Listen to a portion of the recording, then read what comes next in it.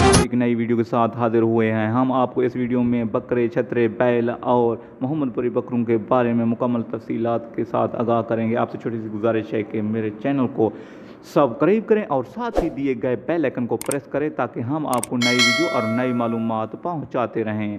आगे बढ़ते हैं इस मुख्तर वीडियो की तफसीलात की जानब। जैसा कि आप देख चुके हैं कि दाजली नस्ल के बैल हूँ या सहीवाल नस्ल के बैल हूँ और साथ ही बकरे, चाहे मोहम्मदपुरी हूँ और सफ़ेद कलर के हूँ, आपको ये दिखाए जा रहे हैं। ये कितना ही खूबसूरत और आला नस्ल के ये बैल, बकरे, छतरे तैयार किए गए हैं। हम उम्मीद करते हैं कि आपको ये वीडियो भी पसंद आएगी और आगे बढ़ते हैं इस वीडियो की तफसीलात की जानब।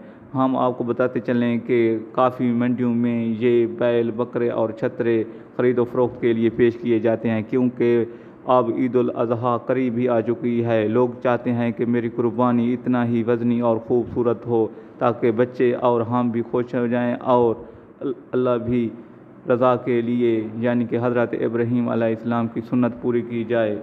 और इस तरह लोग अपने मनपसंद की ये कुर्बानी करते हैं और जैसा कि आप देख रहे हैं, धनी नस्ल के बैल भी कितने खूबसूरत दिखाई देते हैं। अगर आपको इस तरह की वीडियो पसंद है तो मेहरबानी करके मेरे चैनल को सब्सक्राइब करें और लाइक करें और शेयर करें। थैंक्स फॉर वॉचिंग जुड़े रहिए चाहत वही के साथ।